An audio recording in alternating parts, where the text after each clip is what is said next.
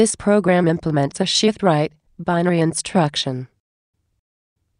Apollo 181 is a 3 MHz homemade didactic 4 bit CPU made exclusively of 1970s TTL logics and bipolar memories. Based on the 74181 arithmetic and logic unit, it performs computations on 4 bit intermediate results.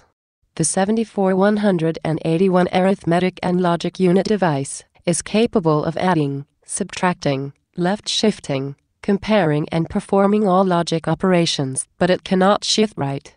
Thus, we need to identify a simple algorithm to perform the missing operation.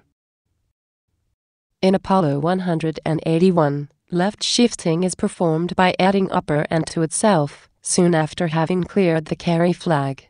The bits are shifted to the left, and the zero value is filled in on the least significant bit.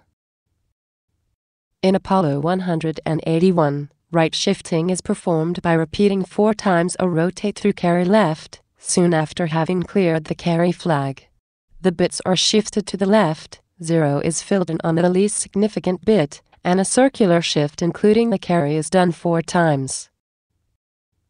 The shift right instruction can be used to divide an unsigned operand by powers of 2. The remainder will be found in the carry flag after a shift right operation.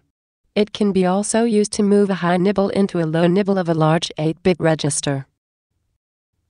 Using shift instructions, it is possible to perform fast binary multiplication in an efficient way by shifting the multiplier to the right, add the multiplicand to the result, and shift the multiplicand to the left.